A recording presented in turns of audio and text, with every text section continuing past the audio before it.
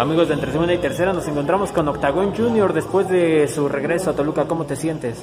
Bien, muy contento, un público muy conocedor, siempre, siempre me reciben de la mejor forma. Pues bueno, un gran espectáculo al lado del Laredo Kid y Pagano. Eh, pues bueno, ya vieron que aquí en Toluca, como dijo un amigo, no traen a la dinamita, se comprobó. Y la verdad es que los jinetes del aire son conocidos por dar un espectáculo de alto rendimiento y pues bueno, les faltó mucho.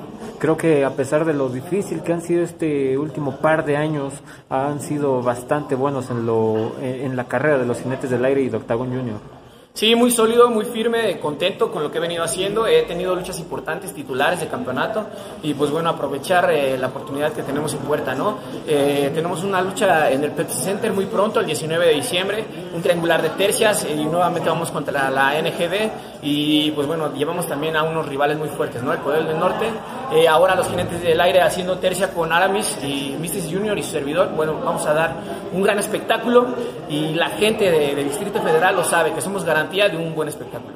¿Qué tiene Aramis para que haya llamado la atención de ustedes y decidir eh, agregarlo a la tercia? Tiene muchísimo, tiene un gran potencial, tiene movimientos novedosos y pues bueno, nos hemos acoplado muy bien, hacemos equipo y pues bueno, eh, ya hemos tenido algunas grabaciones eh, alrededor de la República y, yo, creo que por eso lo, lo, escogieron los directivos de AAA para formar parte de los Jinetes del Aire y nosotros muy contentos de que él lo sea una gira bastante interesante, la de la gira de la identidad, pero creo que ya se extrañaba este tipo de eventos, ¿no? Con el público. Sí, la verdad es que el grito, el apoyo, el calor, eh, las mentadas son esencial, ¿no? De una función de lucha libre.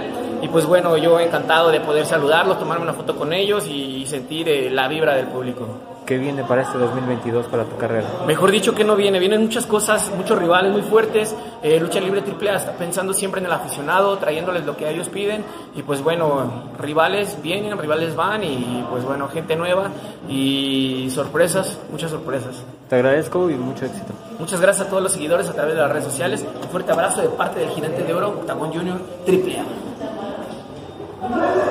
Gracias.